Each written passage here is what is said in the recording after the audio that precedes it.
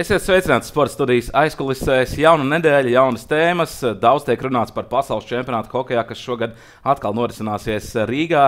Bet eh, nu, ļoti aizraujošas spēles mums priekšā vēl gaida arī Latvijas čempionātā. Lielā fināla sērija. Tur, diemžēl, nespēlēs mans šīs dienas viesis, šīs sezonas Latvijas hokeja līgas labākais vārdsargs Jānis Auziņš. Eh, sveiks, Jāni. Sveiki. Prīzmas pamatvārdsargs eh, pusfinālā, diemžēl, zaudējāt un nespēlēsiet finālā. Es te pirms gada apmēram atceros, ar Andriu Rihardu biju plecs pie pleca šādā pašā formātā. Tad es teicu, nu, divi Andri jāpiesit kaut kur pie koka, ko darīt, ja divi auziņi ir atnākuši uz studiju. Jā, nu, tā sanāca, ka mēs finālā nespēlēsim, bet uh, nu, es domāju, ka mēs ļoti labi parādījām sevi arī pusfinālā. Un, un, un, un jā, zaudējām, bet nu, neko darīt. Nākamgad varēs nākt palīdzēt uz prizmu mums. Vai ne? Lai būtu arī auziņi. divi auziņi tajā komandā varētu Jā. būt. Kamēr vēl jāiemācās slidot. Tas lidošana tā ir. Nu, vēl ir laiks, vēl ir laiks. Kāpēc tu esi vārdsargs? Arī ar slidošanu bija problēmas. Uh, nē, Pagalmā vienmēr tā bija. Nē, īstenībā es uh, sāku kā spēlētājs, un, un, un pēc tam tikai aizgāju kā vārdsargs. Uh, tur man Edmunds Vasiljovs pateica, ka uh, jāiet vārtos, un uh, kad es ķerot rips. un Vienkārši tētim piegāju un pateicu, ka man, man jābūt vārdsargam. Tētim tajā brīdī nebija ak, Dievs, tā dārgā forma jāpērk. Uh, bija, bija, bija, noteikti bija. Un, un, un arī nebija, nebija tik viegli viņu dabūt. Nu, tajā laikā jau bija viegli dabūt, bet uh, finansiāli tu b- ļoti, ļoti bija jā, jātērējās, lai visu laiku jaunu šitoks nopirkt, jaunu slavens, jaunus uh, cimdus, oi, cimdus uh, slīdes. Visu laiku jāmaina. Tā kā, jā, tas bija tāds finansiāli grūts laiks. Visu jaunu bija jāpērk, vai arī tomēr Nē, kaut kā klubs tur palīdzēja. Jo ir dažādas tās sistēmas, es zinu, tajā pašā, kur tu prizmā tagad spēlē. Nu, tur ir viņiem savs inventārs, savu inventāru noliktavu, ko tā kā izdala jaunajiem puišiem, lai nav visu laiku viss jauns jāpērk. Nu, agrāk, cik es atceros, tad uh, man īsti kaut ko, kaut ko varbūt deva, bet uh, pārsvarā mēs pirkām visu lietotu, kaut kur mēģinājām dabūt, un tad kaut, kaut ko jaunu, kaut ko lietotu. Un, un, un, bet uh, tagad, jā, tagad klubiem viņiem uzprasa, visiem ir savu komplekti, ko iedot jauniem vārdsargiem, kas ir ļoti forši. Gribu iestāties vārtos, pamēģināt, iedot komplektu, aizēji pat, patrenējies, un uh, tas ir burvīgi. Nu, tu tagad, kad esi nospēlējis jau lielāko daļu savas karjeras, savus lietotos komplektus, arī jādod kādam klubam. Uh, klubam neatdod, nē, mēs vairāk pārdodam. À, Mēs vairāk- ir biznesa. jā? Ja? jā, mēs vairāk pārdodam, bet uh, jā, es esmu devis kā, kādam kaut ko, bet uh, tā, tā mēs tos vecos ekipējumus pārdodam, nopērkam kaut ko citu, sev jaunu un, un, un tādā ziņā. Kādam zināmam vārdsargam var, var pateikt, ka viņš tagad spēlē ar tavu komplektu. Ui, zināmam, zināmam, laikam nē. Nepateikšu tagad uzreiz. Tie, sitienu. tie parasti ir ā, tādi hokeji, kas spēlē entuziastu hokeja līgā. Jā, jā, jā. entuziasti ir sūtīts uz ārzemēm, kaut kur projām. ā, Es nezinu, es tur parasti iedodu savam bijušam kolēģim, ā, Imantam Legsdam. Viņš viņus tālāk noformē kaut kur. Tad jau izklausās tā, ka vārdsargu pasaulē. Nu, Tas ir tāds vispasaules praksa, tāda, ja, kad vienkārši ņem lietotas formas, nevis jaunas. Kāpēc jaunu nepērk? Kāpēc teiksim, jau tev jāsūta jau tava ievazātā forma uz ārzemēm? À, nē, tas ir tikai entuziasts. tā. Entuziasts nopērk lietotas, nu, jaunas pirkt. Ir, tur ir ne, nenormālākās summas. Tur sezonai vajag desmit tūkstoši, lai tu varētu sev apģērbt pilnīgi jaunu ekipējumu. Tur divi cimdu pāri. Uh, šī toki, tur slīdes, uh, nūjas, pats, un tas viss maksā nenormālāko naudu. Pats esmu spēlējis pietiekami daudz arī Eiropā. Tajā pašā Japānā uzspēlēja. Vārdsargs saņem vislielāko algu komandā, ja viņam arī visdārgākais ekipējums automātiski ir. Dārgā, dārgākais ekipējums noteikti par algu es nemāku teikt. Mēs tur nerunājam par kā, kā, kam ir kāda alga. Bet, uh, nu, Japānā ir uh, maksātspējīgi, maksātspējīgi klubi. Tur ir uh, ļoti labas algas, un uh, tāpēc daudz izvēlās braukt uz turieni. Nevis, uh, piemēram, arī tie paši amerikānieši, kanādieši, viņi tur ir. Un daudz grib uz turieni tikt, uh, daudz man prasījuši ir uz turieni tikt. Uh, nu, nav tur viegli tikt. Uh, pateikšu tā, ka viņiem vajag to uh, kaut kādu sarakstu. Nu, savus CV vajag. CV vai krietni, nu, jā, tādu jābūt bijušam vai nu vismaz AHL vai arī tur KHL. Un, uh, es tur tā la laimīgi trāpījos, tāpēc ka īpašnieks gribēja un viss. Pastāstiet, kā tu tik līdz Japānai. Es saprotu, tas viss notika caur Alta Girgensonu, caur to projektu, ka viņš tur Japānā uh, arī kā, mācīja hokeja gudrības, tā varētu teikt, nu, ieviest uh, Eiropas hokeja Japānas sistēmā. Es tajā brīdī mani parakstīju, ja Aldis vēl nebija parakstīts. Uh, ah, tu biji pirms. Ja? Jā, man tur uh, pirmais vispār bija laikam Henrijs uzraugs. Tāds, uh, Kur tā spēlēja? Jā, jā.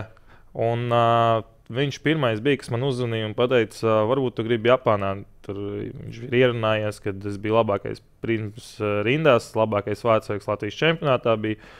Un viņš bija ierunājies, un tad es jau biju ar līgumu, ar, eh, es neatceros, ar Ukraiņas laikam, klubu, ar Donbass. Biju jau gandrīz jau noslēdzis līgumu, tikai bija jā, jā, jāparaksta viņš tajā pašā dienā. Man pasaka, ka, vai negribu braukt uz Japānu. Es teicu, wow, nu, jāpadomā. Tad es iepauzēju nedaudz, tad teicu, jā, ka varētu. Un, uh, tā arī es aizbraucu. Kāda ir algu līmeņa atšķirība tādā Donbassā un Japānā? Nu, Donbassā tomēr tu esi tuvāk Eiropai. Tu pēc tam vari uz nākamo sezonu sev labāku līgumu, varbūt pat Eiropā nopelnīt, kur tas līmenis ir augstāks. Nu, Japānā nu, nu, neskatās Eiropas klubu uz Japānas. Nu, es pateikšu, tā nav tur tā, ka uh, 1100, nu, tur ir uh, tūkstošiem vairāk bišķi, nu, ir vairāk uh, nekā tādā Donbassā. Tur ir laba alga, un arī tas, kad es aizbraucu turien, uh, es gribēju paskatīties vispār, kas tāda Japāna ir. Un, un, un es aizbraucu tur, un bija tāds wow, pirmajā, otrajā gadā, kad tiešām cita, cita pasaule. Nu, kas tāda Japānīta ir? Oh, cita, cita mentalitāte cilvēkos uh, ir. Uh, daba pavisam savādāka. Es izbraukāju to uh, Japānas dabu. Nu, tas ir tā, ka tu skaties dažreiz, zinu, Google tur bildēs kaut kādās, un tāds, wow, tiešām ir tādas vietas, un tad tu aizbrauc tur un skaties, jā, ir tādas vietas. Nu, Japāna jau slavē, ka tā ir viena no tādām valstīm, ka tu vari nezinu, aizbraukt uz kalnu slēpošanu, paslēpot un pēc stundas saļauties pludmalē. Jā, tā ir. Un, uh, mēs bijām aizbraukuši uz kalnu. Uh, Nu, tas ir kaut kas eh, tāds, kas eh, es priecīgs, ka es aizbraucu. Un tiešām tie nobraucieni tur ir uh, fantastiski. Vienkārši. Es neesmu baigājis slēpotāju fans, bet uh, es aizbraucu tur, man ļoti patika. Kā, kā Japāņi tur uzņem vietējos eiropiešus? Ir tā, ka nu, viņiem nepatīk tas, kad uh, atbrauc tev Eiropietis un atņem tev darbu. Uh, bet to neviens tā neizrāda. Un, un, un, tā kā neviens to baigi tur īpaši neizrādīja. Un, Bija, bija... Viņi ir pieklājīgi, ja, bet tā ļoti draudzīgi nav. Jā, jā, jā, jā. viņi ir pieklājīgi, bet ļoti draudzīgi varbūt nav. Tur dažs varbūt to parāda, dažs neparāda, daži vienkārši smaida un, un, un tā. Bet uh, bija jūtams daž, no dažiem cilvēkiem, kad, nu, kad kāpēc tu te esi. Nu? Bet uh, tā kopumā vispār pateikšu tā, ka, nu, nē, nu, draudzīgāk, viņi draudzīgi ir. Nu, ķīnieši tagad pēdējos gados vairākos sporta veidos eh, pie sevis aicina Eiropiešus. Eh, teiksim, basketbolā, turpat NBA spēlētāji. Viņiem spēlē ļoti augstu līmeņa līniju. Nu, viņi to taisa gan mārketingu, gan arī, nu, lai brauc tajā pašā hokeja. Atceramies, bija KHL komanda, lai brauktu mācītu ķīniešiem, kā jāspēlē hokejs. Kāpēc Japāņi ņem Eiropiešus? Arī tā paša iemesla dēļ. Tie, tieši tas pats. Tieši tas pats. Un, uh, viņi arī tagad pēdējo gadu, kad es biju, viņi paņēma tur Amerikā. Ja es nešaubos, amerikāņu treneri kaut kādi, kas agrāk ir AHL, NHL tur bijis, ko trenējis. Un nu, viņi ņem tos trenerus, spēlētājus, lai paceltu to līmeni. Viņi tiešām iegulda ļoti lielu darbu, lai būtu tajā augstākajos sasniegumos, hokeja, gan futbolā, gan basketbolā, visur. Sanāk tā, ka tu ne tikai spēlēji, bet arī trenēji. Uh, jā, mums bija jātrenē arī jaunie, jaunie hokeisti, bet nebija bieži. Tur noteikti, kad sezonā bija jāiziet kādas nu, no piecām līdz desmit reizēm, jāpatrenē viņi. Tur taisīja tādas programmas, un, un, un jā, mēs gājām arī trenējām. Vai tā ir tāda realitāte šajās? Tad, nu, eksotiskajās līgās, un arī varbūt uh, Eiropas otrajās, trešajās līgās, ka nu, tev jārēķinās to, ka tu nespēlēsi tikai hokeju, ka tev būs kaut kas blakus vēl jādara. Tu esi bijis Polijā, tu esi bijis Slovākijas otrajā līgā, pats tas gandrīz arī uz uh, Donbasu aizbraucis. Mm, nu, ar to jārēķinās. Ja? Uh, principā, jā, nu, tas ir. Es domāju, ka arī top klubos, kad tu aizēji patrenē kaut kur, ja tev palūdz, tur, kad tur jāaiziet, ir jāpareklamē klubs un jāaiziet, jāpatrenē pie jaunajiem. Es domāju, ka tas ir eh, bez mazliet visur. Eh, es tā domāju, es nezinu, varbūt es šaubos. Bet visur, kur es esmu bijis, visur ir vajadzējis iet jaunajiem, pamācīt tur kaut ko un, un, un pareklamēt to klubu. Un uh, strādājis tikai es esmu Anglijas otrajā līgā. Tad es aizgāju, tāpēc, ka nu, man nebija visu dienu, ko darīt. Un vakarā treniņš, un es gāju tikai pastrādāt arī. Pārējās vietās, nu, es neuzskatu, ka tā ir baigā strādāšana, ka tu aizēji tur stundu paslido ar jaunajiem hokeistiem. Un, un, un, tā kā tā. Pīterborā tu spēlēji Anglijā, vai ne? Jā. Vairākas sezonas. Kādas darbiņas tu, tu meklēji paralēli spēlēšanai? Uh, man iedeva īpašnieka darbus. Tur uh, vajadzēja tīrīt uz ielas tādas. Tur, kur notek ūdeņi uz ielas, bija jātīra tās mašīnas, piebrauc, iztīri un uh, tad brauc tālāk, nākamo un iztīri. Un tad man iedeva īpašnieku to darbu trīs reizes nedēļā, un es ļoti labi piepelnījos vēl klāt. Mm -hmm. Tas tev, tas tev nepatraucēja sagatavoties spēlēm, teiksim, tās darbs. Par to ir daudz runāts, ka nu, jums ir pietiekami daudz brīvā laika, bet tajā pašā laikā nu, tev tomēr jābūt svaigam uz to spēles, to treniņu. Ja?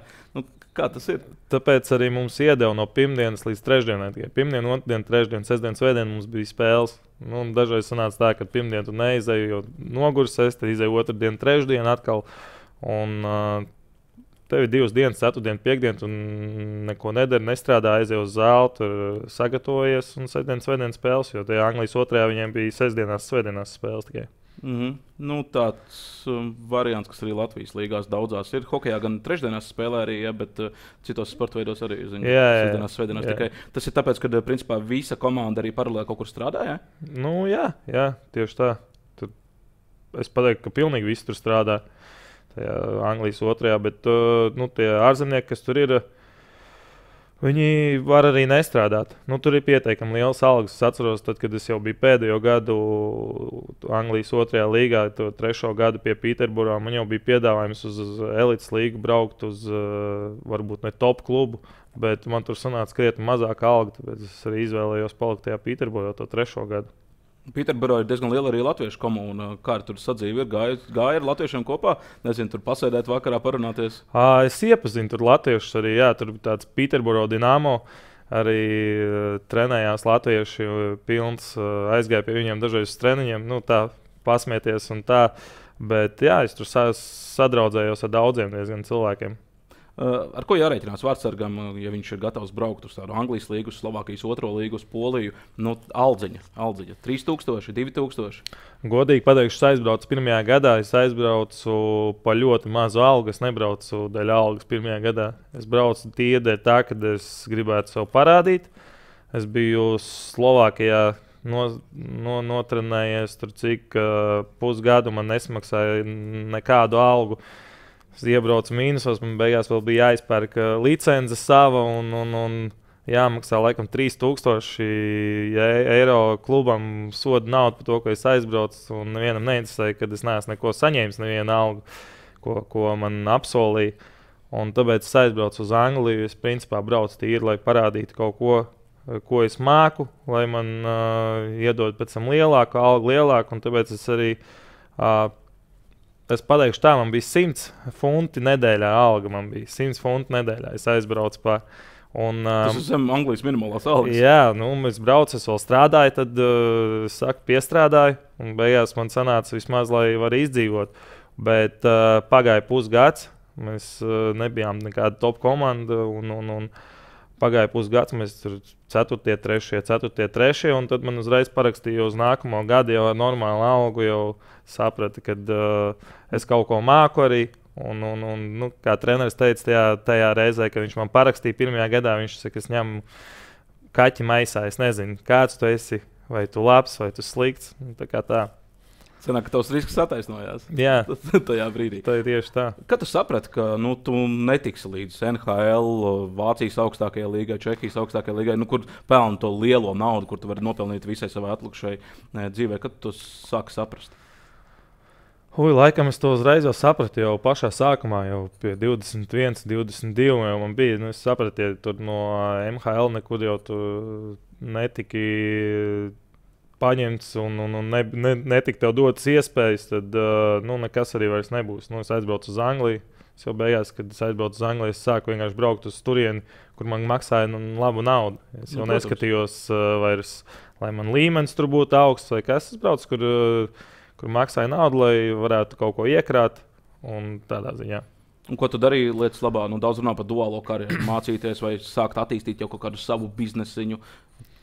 Kad Nu, es es uh, sāku, sāku savu biznesu kaut kādu, mēģināt uh, taisīt, uh, pirku automašīnas, tur pārdevu, tad tagad sāku īrēt viņas uh, un tādā ziņā. Kaut ko mēģināt, kaut ko citu un skatīties, kā aizies. Mācīties negāja? Uh, es biju iestājies LSPA, es biju iestājies, bet uh, tā arī man nesanāca ar laikiem nekādīgi aiziet. Nu, tad vēl tā attālinātā mācīšanās nebija Jā, populāra. jā, Jāsaka, jā. tagad domāt, tagad varbūt iestātos. Vajadzētu īstenībā, jā, noteikti. Ja par to daudz runā, ka nu, nospēlē līdz tiem nu, 35 gadiem, ja tev ķermenis varbūt atļauj tik ilgi spēlēt, dažām varbūt mazliet ilgāk, dažām mazliet mazāk, un tad tu vienkārši atpūties nu, pie nekā. Tu vairs ho ar hokeju nopelnīt nevari, biznesa tev nekāds uh, nav, iekrājis tu arī īsti neko neesi. Un tad uh, ir daudz dažādu bēdīgu stāstu Tā- to. Tā ir. Jā. Nu, noteikti ir jādomā par mācīšanos. Es uh, noteikti nožēloju to, ka es pašā sākumā jau negāju uzreiz mācīties kaut ko. Nu, tagad ir labi attālinātais, tagad tu vari kaut ko attālināt, tas ir forši.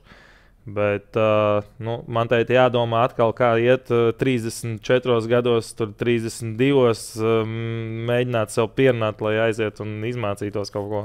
Nu, tas nav vienkārši. Tas nav vienkārši. Jā. Tas noteikti nav vienkārši. Tur baigi jā, jāpiestrādā pie sevis. Lai vispār saprast, ko tu nu, gribi savā dzīvē darīt. Vai tu gribi sēdēt birojā, apmēram, vai tu gribi, nezinu, pas, kā pasniedzējs būt, uh, vai kaut kas tamlīdzīgs. Tie, tieši tā, tieši tā. Tagad uh, es esmu daudz domājis par to, ka jāiet, ja mācīt, kaut, kaut kā jāpielauž sev. Sieva man visu laiku pabaks tur, bet uh, es joprojām nevaru saņemties. Nu, Klau, tu atbrauc no Japānas un atgriezies Latvijas līgā, mūsu augstākajā hokeja līgā. Atceros tavu pirmo spēli, es vēl pēc spēles tevi intervēju, un es vēl to sižetu pasniedzu tā, ka Jānis ir atpakaļ. Tomēr tu esi pieredzējis vārdsargs ar labu CV, arī izlasējis, uzspēlējis. Ja? Nu, tas ir liels pienesums mūsu Latvijas hokejam. Nu, Tā principā bija nu, gandrīz pēdējā spēle tavējā Rīgas dīnāmo sastāvā. Ar ko tev Rīgas dīnāmo pierunāja atgriezties uz tieši viņu komandā? Jo pirms tam tu biji spēlējis pār- pārsvarā prizmā tikai. Latvijas līnijā. Jā, es uh, ar Eriku vienmēr aizēju, sarunāju, un, un, un viss ir kārtībā. Vienkārši bija saruna ar uh, Maksimu Širokovu, kad nu, nāca uz turieni, mēs tur visi būsim. Uh, tas vecais, tas pats prizmas sastāvs, kas bija uh, Žora Pujas, tur uh, brāļi Širokovi, uh, nu, daudz, es neatceros, kas tur vēl bija tajā gadā. Bet uh, nu, man simpatizēja tas olimpiskais sastāvs. Es domāju, būs visi tie paši džeki. Uh, kaut kādu naudu mēs tur dabūsim. Es domāju, nu, forši, jāiet tur jātrenējās. Nu, mēs arī tur forši pavadījām uh, vasaras nometni. Uh, Jums pat nometne bija vasaras. Nu, ne nometni, tas bija tā kā sagatavošanās, tās divas nedēļas, trīs kaut kādas priedēnē, tur paskraidījām, tad piņķos uz ledus. Bija ļoti forši viss, un, un, un nekas neliecināja, ka kaut kas varētu nobrukt. Mm -hmm. Bet, uh, nu, beigās, kā ir, tā ir. Nu, sanāk, tā, ka tev pierunāja brāļi Širokovi un uh, Georgijs uh, Pujats spēlēt. Tu pirmo spēli nospēlēji, otrajā tu dabūji traumu, un viss vairāk arī nespēlēji. Jā, vairāk nespēlēju. Nu, pēc tam es uh, dziedāju savu traumu. Celim tur bija ieplīsusi, neatceros jau kāda saita. Un, un, un, un, un izārstēju, un tad jau es sapratu, ka nekas arī nebūs. Sāka pa lēnām cilvēki iet projām, un uh, es izlēmu, ka jāiet uz prizmu. Nu, tad daudz, daudz bijušie dīnāmo spēlētāji jau ir arī devuši intervijas maniem kolēģiem. Tur saka, ka, nu, kā tev bija teiksim, ar to traumu. Nu, tev bija solīts to, ka uh, tev apmaksās to ārstēšanu, bet tev beigās pašam bija jāmaksā par to, vai kā, kā tur tā problēma bija. Uh, bija Vai tā, vienkārši vispār neko nemaksāja? bija tā, ka es uh, dabūju traumu un, un, un uh, dabūju traumu. Vajadzēja taisīt uh, magnētisko rezonanci. Es pats beigās sarunāju magnētisko rezonanci, kur man uztaisīs, pierakstījos, aizbraucu, sataisīju.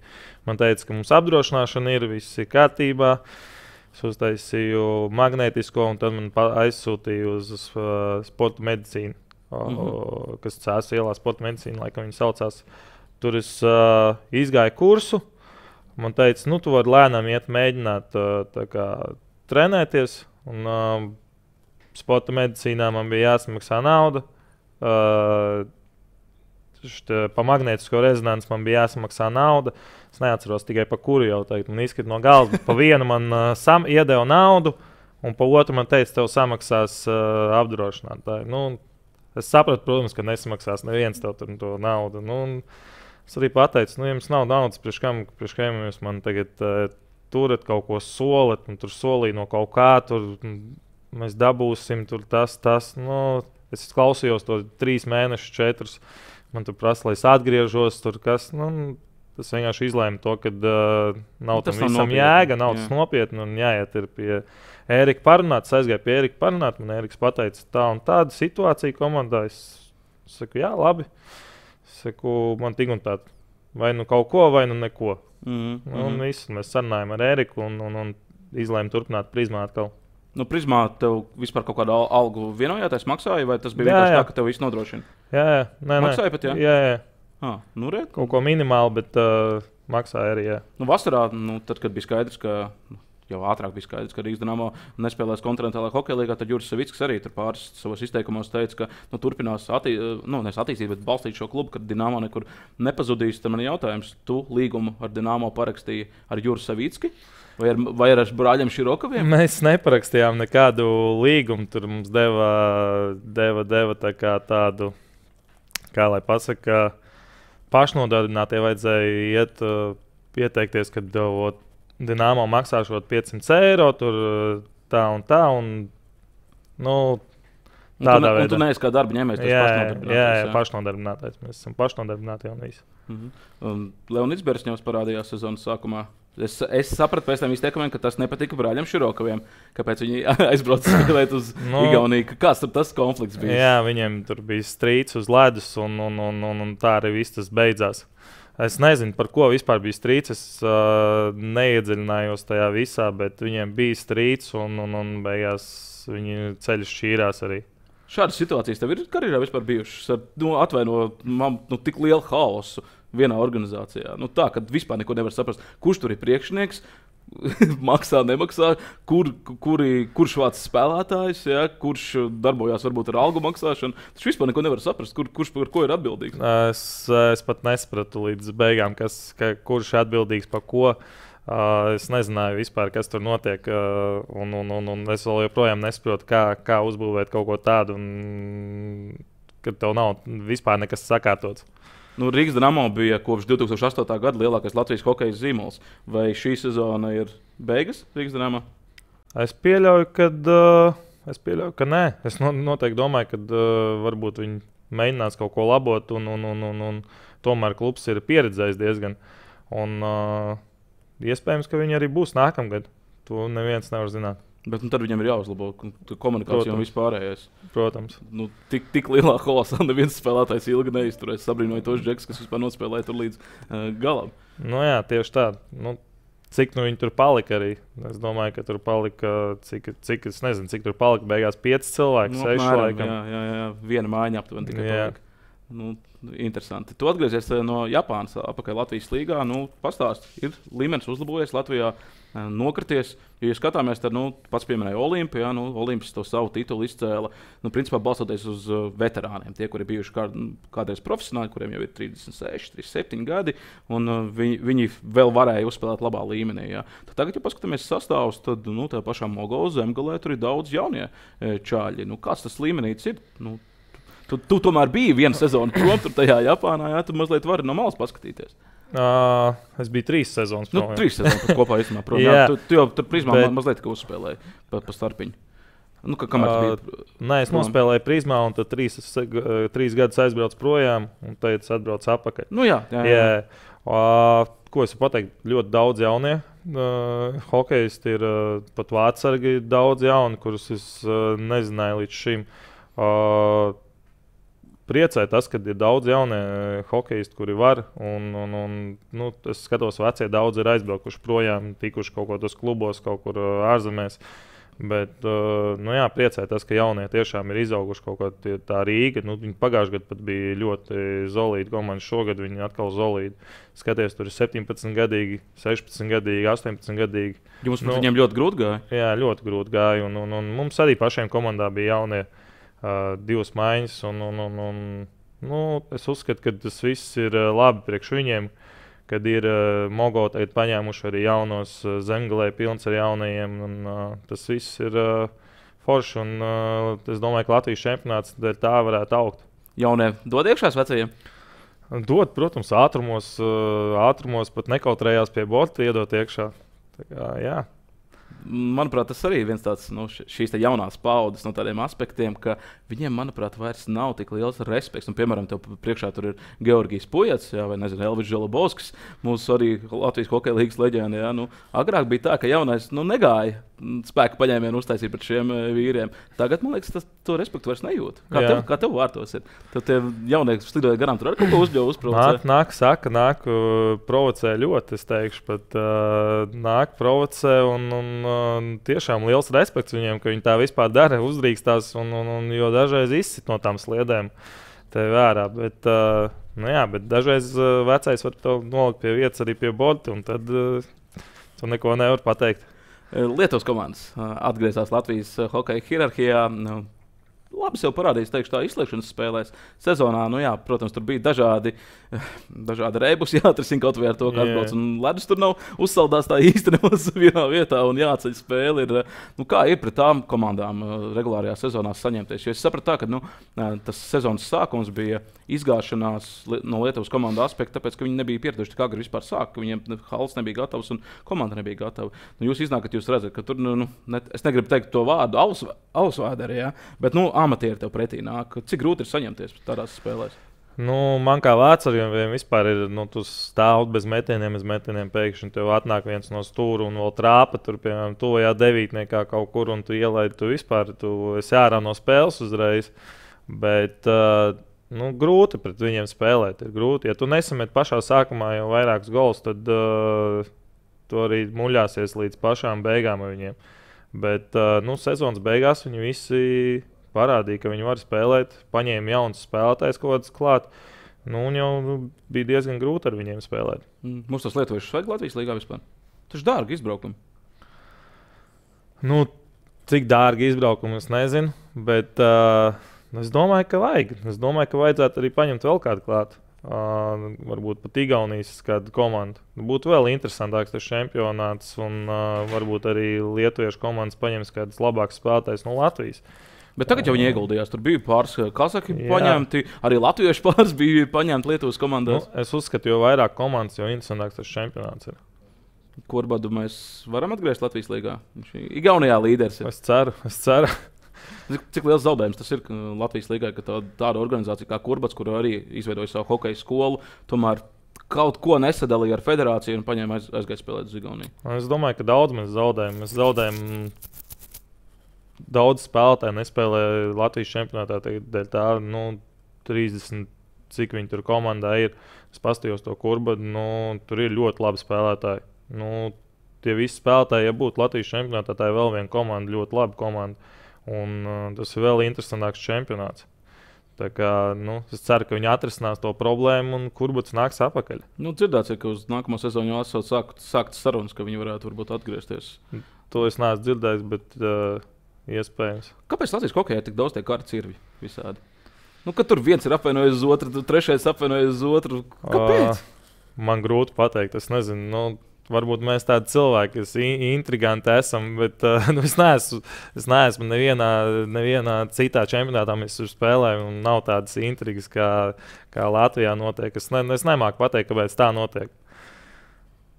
Par, spēle, par spēlēšanu Latvijas čempionātā. Es jums paprasīju uh, vienu jautājumu. Elvis Zilabovskis un uh, viņa provokācijas. E, izjūti kārtīgi?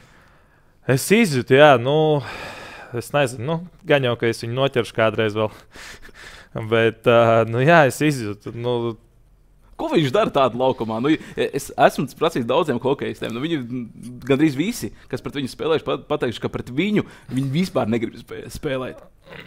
nu, ir tā, ka tu gribi viņu noķert, tu nenoķers viņu. Viņš zina pareizos laikus, kad aizskriet projām. Ir.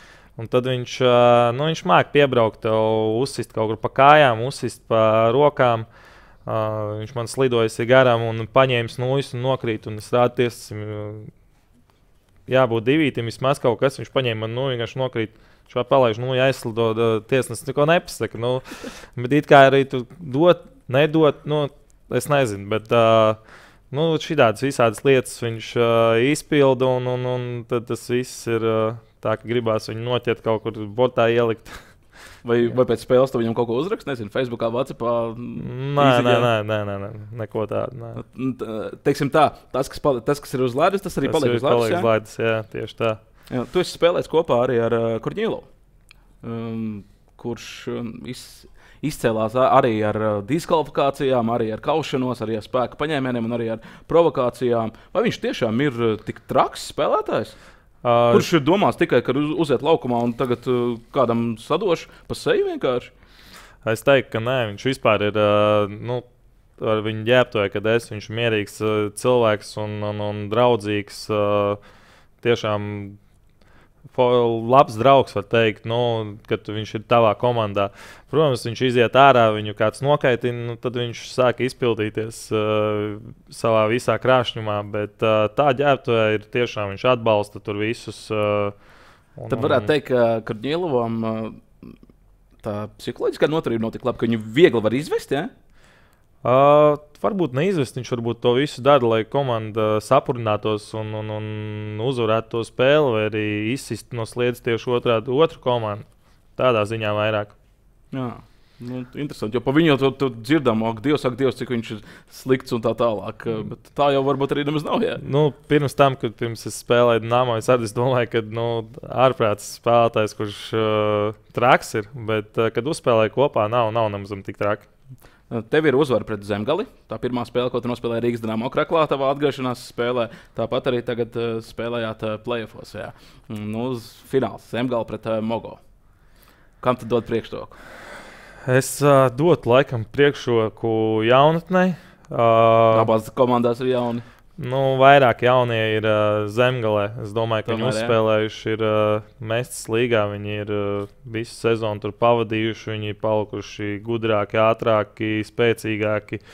Uh, tā vairs nav tā komanda, kas bija sezonas sākumā. Es domāju, ka, protams, es domāju, ka nebūs 4-0. Es domāju, ka būs kāds 4-2 vai viss, varbūt pat 7 spēles varētu būt. Bet būs ļoti interesants hokejs.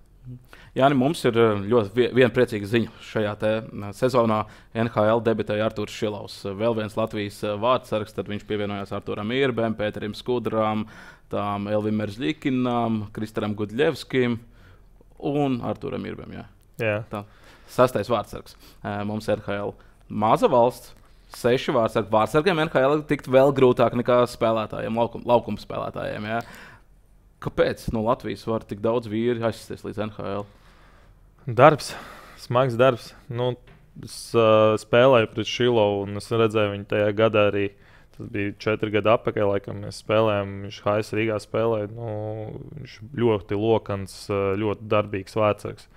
Uh, viņš jau tad iekrita acīs tāds, ka tiešām darba rūķis uh, ļoti labi lasa spēli. Nu, es domāju, viņš vienkārši izsitās savu darbu uz turieni. Un, Jā, bet Elvis parādīja. viņu, viņu ir raksturojis tā, ka jā, viņš, viņam ir labs stils, viņš ir ļoti agresīvs, bet ar tādu stilu viņš NHL nevar uzspēlēt, nevarēs uzspēlēt ilgi. Viņam vienkārši spēka beigsies. Ka viņam esot jāpiekopjot mazliet tāds, um, es neteiktu, primitīvāks un tāds netik kustīgs tas uh, spēles stils. Nu, es teiktu, ka Dēls arī nav nekustīgs vārds. Viņš var visur lec, pa labi, pa kreisi. Nu, baigi viņiem atšķirās. Tie stili, jā, varbūt uh, vairāk šilos lec kaut kur ārā no vārtiem un, un, un stiepjas. Bet uh, es nemācīšu pateikt, tāpēc, ka es neesmu tur spēlējis pirmkārt. Un es nezinu, kā, kā tas ir.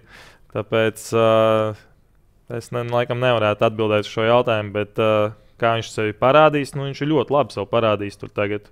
Un tās spēles, ko, nu, nu, ko viņš nospēlēja, nu, es skatījos, nu, fantastiski. Vienkārši. Mēs aizmirsām, Matīs Kilunēks taču arī bija. Jā, Jā. Nelaiķis jau, bet uh, arī spīdēja, tiešām uzspīdēja arī Nacionālajā hokeja līgā kopā ar Elvis Mēnesis vienā Jā. komandā. Cik liels varbūt tev bija tas, tas šoks par to ziņu, ka mm, Matīs vairs nav vienkārši? Nu, tas tieši mēs bijām uz ledus. Atceros, mēs nogājām no ledus un tad paziņoju šos uh, bēdīgos jaunumus. Un, un, un, un, un, nu, traki, tas ir ļoti traki. Nu, tik labs vārdsargs un, un, un tikko sākas tikai karjeru, un uh, šāds negadījums tas ir uh, nu, tas šausmīgi.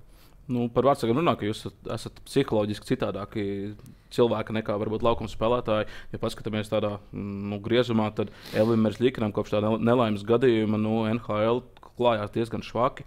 Vai tas varētu būt nu, tās atmiņas par to n- drausmīgo nelaimi, par savu draugu, kā viņš arī raksturojas, gan ģimenes locekļu zaudējumu. Es pieļauju, ka, protams, es domāju, ka tas uh, viņam ir ļoti galvā iesēdies. Un, un, un, un, un ar to ir baigi jācīnās. Tas ir, uh, tas ir tiešām smagi, ja tas ir tavs tev draugs bijis. Uh, tiešām tur katru dienu pavadījis. Nu, tas ir ļoti smagi. Es brīnos, kā viņš vispār varēja jau no paša sezonas sākuma iet ārā un, un, un spēlēt. Bet nu, tas ir viņa darbs. Un, un, un, ar to ir jācīnās. Un, uh, cerams, ka viņš ātrāk to aizmirsīs un, un, un, un sāks, sāks uh, atkal spēlēt savu, savu labāko spēli. Mm -hmm. Kāds ir tavs stils? Ja tu saki, ka Elvis arī tāds kustīgs ir, Arthurs ir kustīgs, ja? nu, es tā paskatījos, tā, es... ka tu ar gadiem īstenībā esi palicis tāds ļoti mierīgāks eh, vārtos tieši spēlējot. Jā, es... Tu tā lieki nekusties. Es agrāk baigi lēkāju pa tiem vārtiem arī, es atceros, bet tagad uh, man tie ceļi laikam vairs netur tik daudz, un es vairāk tādu old school jau ieņēmu. Tur atcīt kā vari un, un, un, un nelēkāt, un tāpēc, ka nu, nav vairs tie gadi jau lēkāt. Un, un, un, ceļi arī netur vairāk. Mm. Tāds lēnīgs, lēnīgs kā var teikt, veterāns. nu, vēl veterāns tur neesmu. Nu, vēl neesmu, jā, vēl, vēl, vēl varu uzspēlēt kādus piecus gadus, bet nu, jau, jau iet uz beigām. Es jau jūtu, jau, ka nebūs jau ilgi vēl. Ja mēs skatāmies uz tiem vārdsargiem, tad jūs jau arī Eiropā daudz mūsu jau labi sev parādījuši, esat uh, dažādās līgās.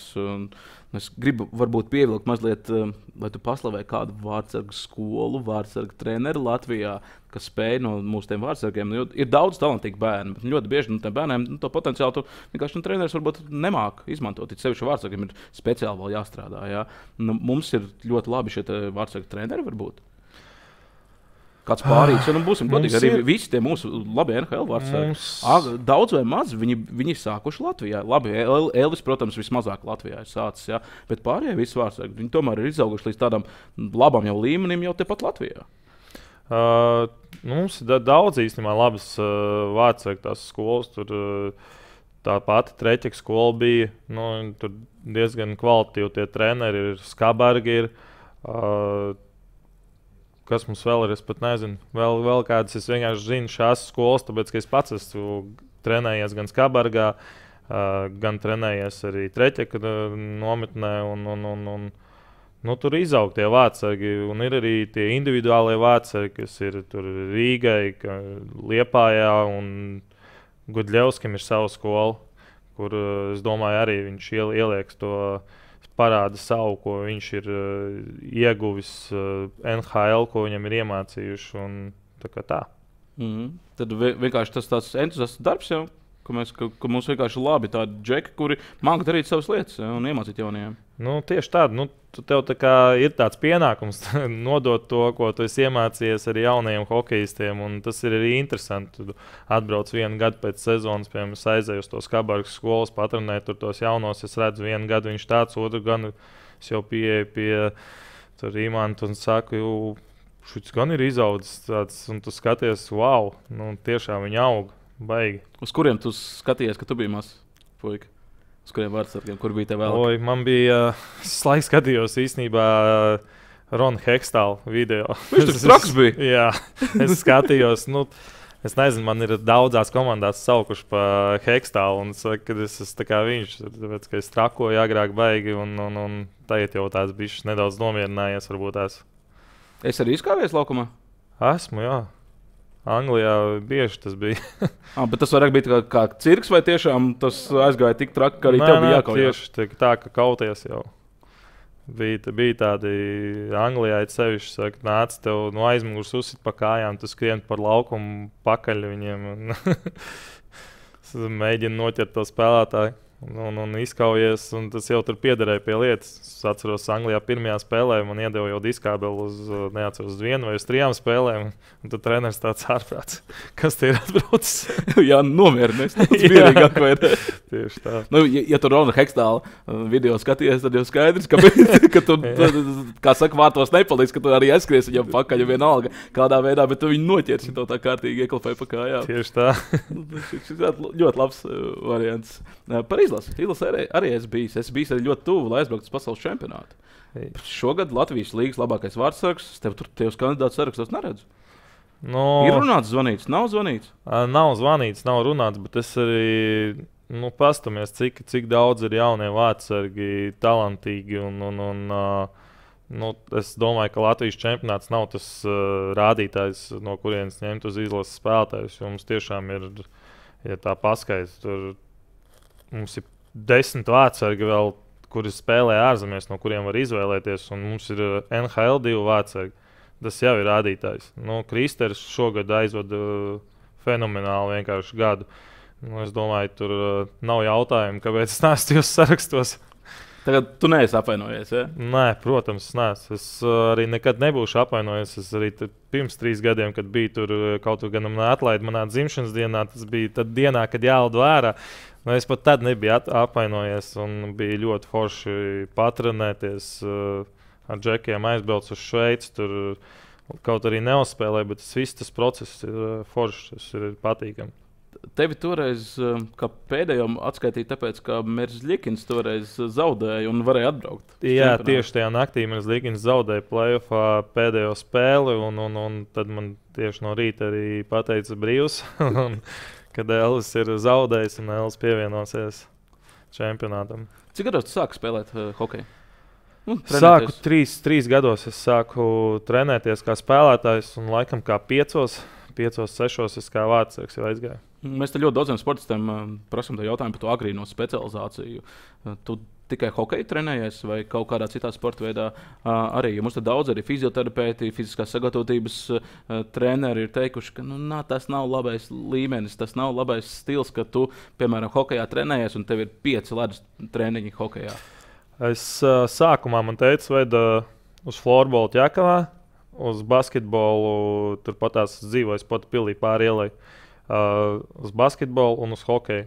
Es gāju uz trim sporta veidiem, un, un, un viņš man ļāva pašam izvēlēties, kas man labāk patīk. Nu, tad tur basketbols man īpaši gāja, tad es uh, paliku floorbolā un hokejā. Kad saslimu un negāju vairāk uz floorbola, tad jau palika tikai hokejs. Mm -hmm. Tikai hokejs palika jau cik tev gadi bija? Oi, īsti nepateikšu, laikam, kad 5, 6 gadi. Tas, uh, Bet tad varētu Ar teikt, to. to, ka, principā, nu, labi, tu sāki ar trim sporta veidiem, bet tālāk tu esi tikai hokejā bijis. jā, tikai hokejā. Hmm. Nu, ko tu saki par to agrīno specializāciju? Nevajadzēja varbūt paralēli vēl tur tajos 11 gados viegli atletiku, nezinu, tur regbiju, nu, kaut ko tam līdzīgu. Varbūt arī vajadzēja. Varbūt arī vajadzēja. Es nemāku pateikt, bet uh, man tas hokejs tā patika, kad uh, man pietika ar to, un, un, un tie treniņi ir katru dienu. Piemēram, tagad arī tiem uh, jaunajiem hokeistiem. Nu, viņiem uh, no rīta ir treniņš, tur pirmdienās, trešdienās, piekdienās, sestdienās vēl tur spēles vai aiziet papildus kaut ko. Un otrdienās, trešdienās viņiem tikai brīvs ir. Nu, es nezinu, vai viņu vajadzētu nodzināt tur uh, otrdienās, ceturtdienās vēl uz vieglu atletiku. Viņam sanāks pilna nedēļa, un vecāki sajūgs prātā, ka jā, jāvedā visu laiku. Ir.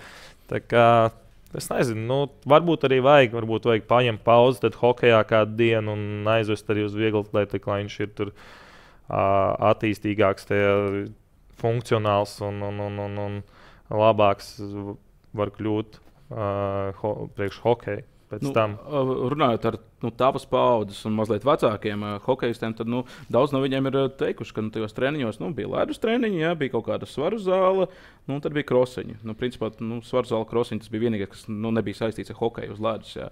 Kā tev bija teiksim, tie treniņi tur? Jo es skatos, arī kā, kā trenējās jaunieši uh, mūsu hokeja skolās. Tad diezgan daudz liek klāt. Uh, Vingrinājums ir ļoti daudz sausie treniņi, kur ir tiešām viegli atlētika. Un Tā lai kaut ko pamainītu. Tu redzi to, ka ir mazliet mainījušies treniņu metodikas salīdzinot ar taviem gadiem.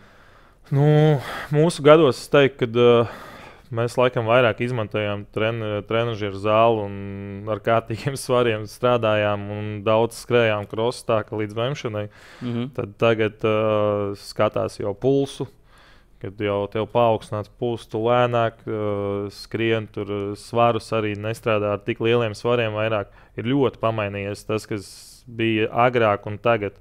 Nu, tagad visu, visu, visu bez mazliet uz datora skatās, kāds, kāds tev pulss ir un no tā tikai sāk strādāt.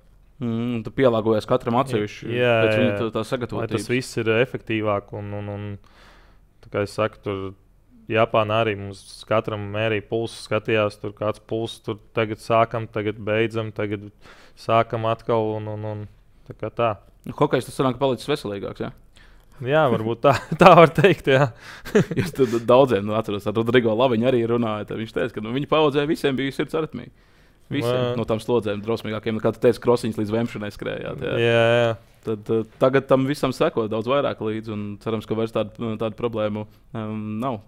Nu, jā, tieši tā, tā varētu būt. Kad tu sā, sāki just uh, savā tajā trenēšanas karjerā, kad tu sāki trenēties hokeja, nu, kad tev ir progress vislielākais? Ui, vislielākais progress. Es teiktu, ka 16, gadi, 15, laikam, kaut kā tikai tad es sajūtu, ka uh, es kaut ko varu tur, varbūt jā, tur uh, sāk, sāk kaut ko ķert vairāk, un, un, un, un tad uh, viss palika tādi pieaugušāki, un, un tie metieni labāk, un palika tas interesantāks hokejs. Un, uh, man liekas, ka tad ot, es sāku tagad. Mm -hmm. Tad būšu tūlīt. Jā, tu, tu arī fiziskās sagatavotības treneris saka, ka līdz 14 gadiem eh, tev tur vajag visu kaut ko citu arī darīt. Jā? Un tad pēc tam 14.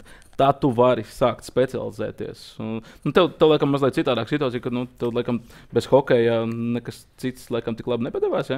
Nu, tā varētu teikt. Nu, var teikt, ka nemēģināju nemaz. Es saku, ka mēs dažreiz tur floorbola aizgāju vēl joprojām. Tur jau 16, neatceros, jau 16 vai 15 gados arī aizgāju floorbola tik un tā vēl uzspēlēju. Bet man tas, tas ar to nūju, man bija tāds. Tāds vis, vislabāk, laikam, kas padevās un arī ko gribējās visvairāk. Nenožēlo, ka aizgāju pa vārdsargu. Nē, no spēlētāji. Nē? Nē, es teiktu, vasarā ej pie arī kā spēlētājs aizēju uh, uzspēlēt. Tur, uh, no rītiem man patīk vienkārši arī kā spēlētājiem uzspēlēt. Un es domāju, ka tas ir uh, arī daudz man palīdzējis. Piemēram, es redzu laukumu, varbūt vairāk un tā. Tā kā nu, pavasarī es esmu spēlētājs, un uh, tā kā sezona sākās, tad es esmu vārdsargs. Tam, tam man uzreiz ir jautājums. Es zinu, ka vārd, vārdsargi, kur arī trenējuši Latvijas izlasē, viena no treneriem bijuši. Vienmēr, kad aizbraucu uz treniņu, es pamanu, ah, tā, nu, viņš vēl aizvien ar savām vārdsargu slidām eh, slido pa laukumu.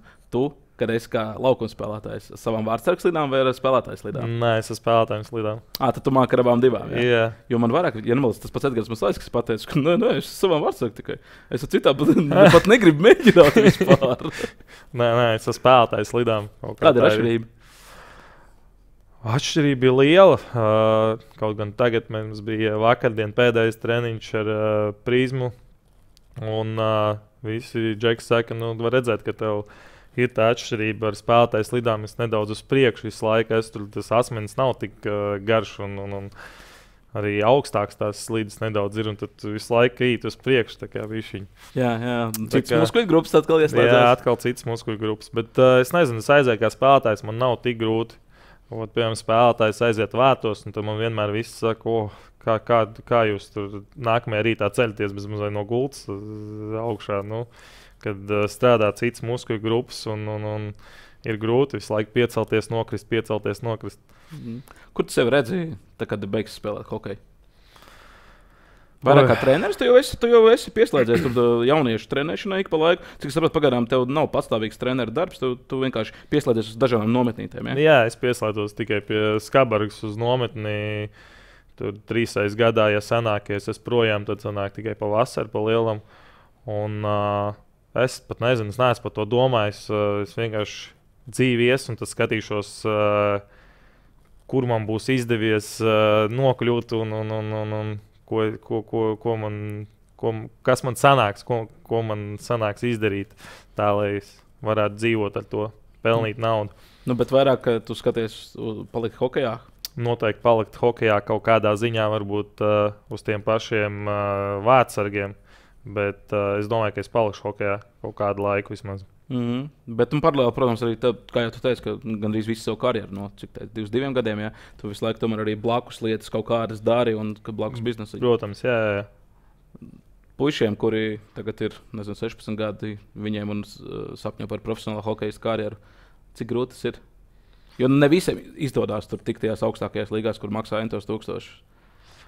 Es pateikšu tā, es, uh, ko, ko es esmu par šiem gadiem uh, iemācījies. Uh, tas smagais darbs Ja, ja tu ieguldi tiešām to smago darbu, jo mums ir visgrūtāk, mums ir uh, jauni, jaunieti, jaunietim ir visgrūtāk kaut kur piespiest viņu. Viņš tur domā, ah, pēc kā man tas, nu, es negribu tur.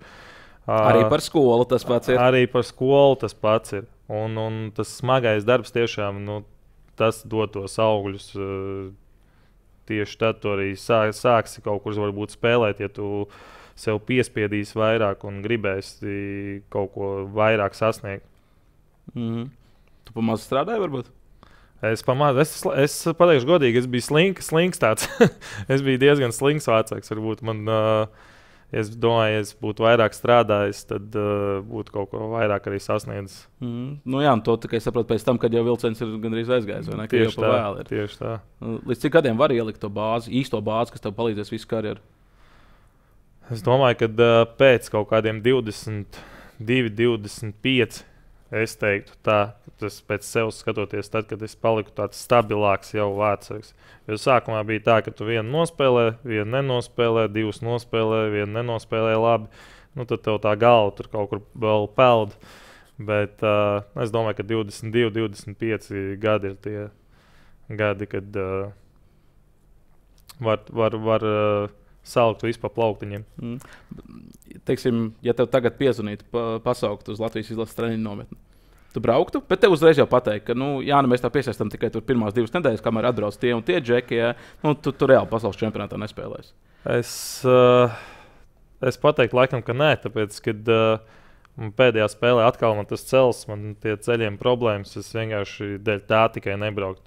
Bet tā, protams, es gribētu tur tīri pievienoties būtu interesanti atkal, bet uh, šoreiz es pateiktu, nē, tāpēc, ka uh, nu, veselība tomēr ir veselība.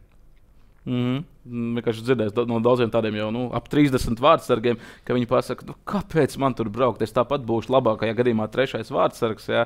Es būšu zaudējis pusotru mēnesi, ko jūs treniņu nometnē svīstat, ja? un es tāpat pat neiziešu laukumā. Nu, kāpēc kam man tas ir vajadzīgs? Es tā labāk trenējos, nu, savādi kārtībā savus ceļus, ielieku savu fizisko bāzi jau uz nākamo sezonu, vai arī vienkārši atpūšos. Nu, tā, tā ir, bet, uh, ja tev nav ko darīt un tev viss kārtībā, veselība, nu, kāpēc neaiziet? Nu, es uzskatu, kāpēc neaiziet.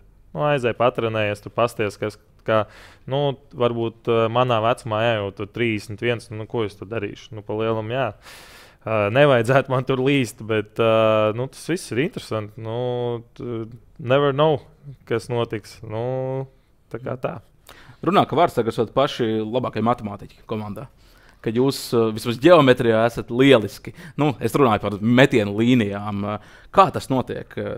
Tavā galvā, vai es nezinu, uz dēlīša vai kaut kādā datorprogrammā, kur jūs to visu zīmējat, kā tās metienu līnijas sazīmē savā galvā?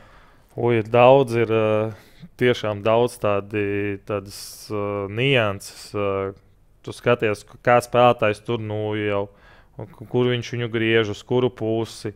Tu skaties, tev jāredz vienmēr, kas notiek tev blakus. Jau tur spēlētājs nāk pielikt vai nepieliks viņš vai viņš palaidīs to ripu. Nu, tur daudzas, ļoti daudz sniedz, un tas spēles ātrumā tas ir vēl, tev vēl jāsagramo viss. Un, un, un tad, tāpēc ir tās spēles, kad nu, tu skaties un domā, nu kā, nu kā tu noķēri to. Bet tajā spēles momentā tu redzi, wow, reku man ir jāpalaiž tevis tulīt uz tālo būs tā piespēle, un tu jau esi gatavs, jau sagriezies un atdot to piespēli, un tu beigās tur izvēlējies nereālāko. Un visi saka, nu kā, nu kā. Nu, tas vienkārši tā jau ar gadiem iegājies, ka tu redz visas tās kustības, jā, nūju, un, un, un tu sako līdz tai spēlē. Nu, piemērs. Iziet pret tevi viens pret vienu, tu redz, ka būs plauksts uh, metiens, jo viņam sēž aizmugurē jau aizsargs. Nu, viņš nevar vairs neko izdarīt, pie tevis pietuvoties. Kur tu skaties? Es uz nulli skatos. Vienmēr no. uz nu. nulli, bet uh, dažreiz tu pamani arī to, ka, uh, kad viņam vienkārši taisnība, viņš brauc, tad tu pasties uz augšu, jā, ka viņš tur kaut ko mēģinās tulītās. Vai arī, vai arī viņš pastās bija aiz muguras, tu jau vari viņam izsist to ripiņu ārā. Ir tāds nianses arī dažs, bet, uh, protams, spēlētājs var mierīgi tevi apčakarēt, tur parādīt. Tur, Tā kā Ozoliņš man tur ielika starp kājām, nu labi, man tur nedaudz nepaveicās, bet viņš laiku tāds gols met iekšā, un, un, un, un viņam tas izdodas, viņam tas ir atstrādāts un viss. Un, un, tā kā var uzrauties arī vācē. Kā tu krīti? Vai, nu, kā, tu izda, kā tu izdari to kustību? piemēram, atkal tā, tāds pats piemērs. Arī vienkārši tur redzi, ka būs parasts plauks metiens. Nu, bieži, bieži, bieži tu nokrīt. Ja, ja te ir bulīts, tu vienkārši mēģini maksimāli ilgi nenokrist. Nu, tad tu redz, ka viņš to var noraustīt tikai bišķi. Bet ir jau tā kustība, jau ir ar pleciem, un tad tu saproti, kad ir jākrīt. No nu, rokām viņš tur notirina. Tu saproti, ka nu, nebūs tas metiens, neuzmetīs tā. Bet uh, nu, kaut, kā, kaut kā, es nezinu, nevaru būt tā ļoti izskaidrot. Bet uh, tas jau tāds pieredums bija šī. Mm, skatoties arī to hokeja attīstību, Vārtsargs nenormāli mainīja šo spēli. Pats pieminēja savu Ronu, Ronu Hekstālu. Jā, nu, tas, tas ir vēl vecāks stils.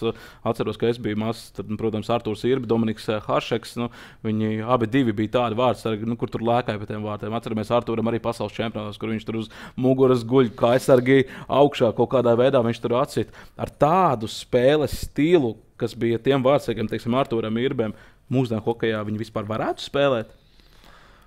Es domāju, ka varētu, kāpēc nevarētu vienkārši teikt, es domāju, nedaudz varbūt tie metieni spēcīgāki var būt. Es nezinu, tās nūjas jau ir labākas, tagad taisa.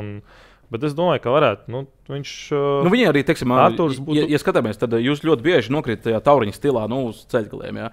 Nu, Arturs ļoti bieži krīt uz sāniem. Jā, vienkārši izgulās. Jā, nu, tādā veidā. Tas pats Rons Hekstāls tā, tāpat spēlē. Jā, tā vēl tā vecā skola. Uh, Es domāju, ka uh, nu kā, viņš, viņš atrastu veidu, kā atsist to ripu. Nu, talantīgs hokejs. Kaut nu, kā tā uz galvas, ja tu atsit, tas ir labs. Jā, jā nu, viss. Nu, nav, nav jau svarīgi, kā tu atsit. Nu, galvenais, lai tu atsit. Nu, viņš atrastu veidu, kā atsist arī savā stilā.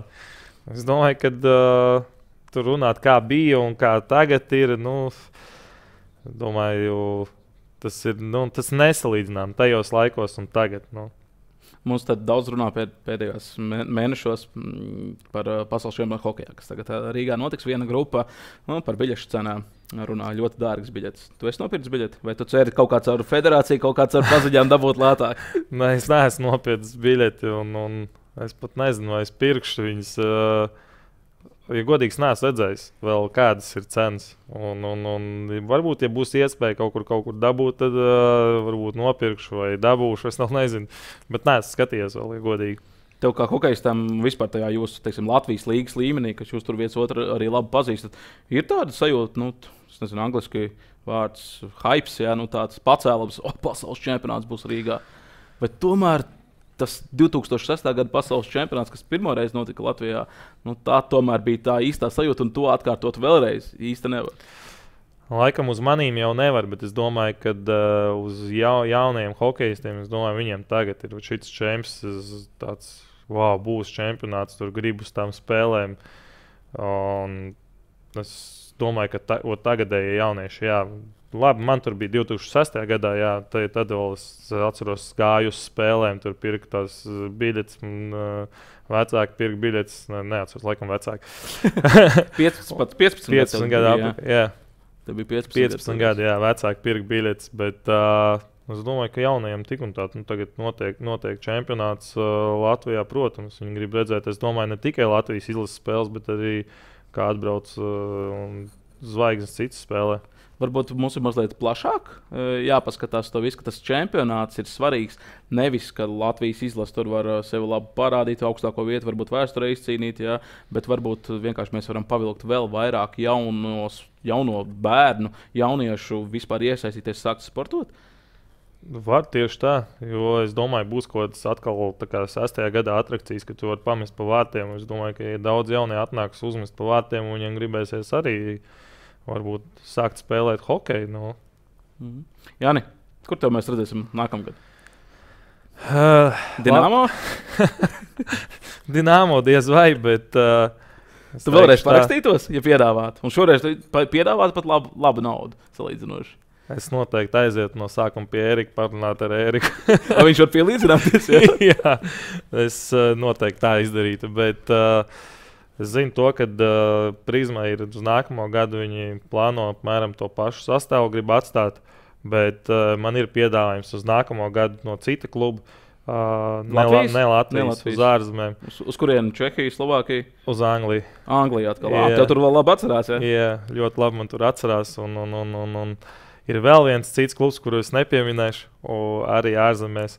Un, uh, bet es vairāk liecos, laikam, ka es palikšu Latvijā. Gribās tomēr vienreiz pacelt to Latvijas kausu.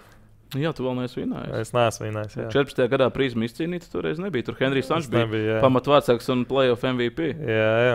Jā, tā kā, nu, labi, Jāni. Nu, Novēl tev to. Latvijas kausu beidzot pacelt. Tāpēc, tu, tu zini, ir tas jauns kauss. Ļoti, ļoti smags. Viņu Jā. grūti, grūti pacelt. Jā, Tad tur jāpatrenējas mazliet būs. Jā. Tāpēc Latvijā arī taisīs tas kauss. Ir Jā. veidots. Tā kā, nu, skatāmies Zemgala pret eh, Mogo lielais eh, fināls. Tu varēsi noskatīties no malas. Uz šo lielo finālu. Uh, Nu, pārējie būs jāiet uz kalēm un jāfano par vienu vai otru klubu. jā. tā teikt. Nu, veiksmīgi, Jā, Labi, tev paldies.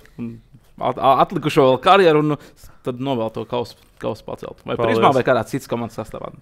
Tad tā, Cerams, jau, tad, tad tam jau vairs nav tik liela. Tieši tā. Tieši tā. Ah, Jānis Sauziņš jau viesojās pie mums sporta studijas eh, aizkulisēs. Lūk, tādas eh, runas par hokeju, arī par pasaules čempionātu un, protams, arī par Jāņa pieredzi viņa eh, karjerā. Tas Nu, tiekamies mēs ar jums pēc eh, nedēļas, protams, ar eh, jaunu tēmu. Varbūt atkal hokeju, jo pasaules čempionāts tomēr tuvojās, bet droši vien arī parunāsim par citām tēmām. Vislabāk!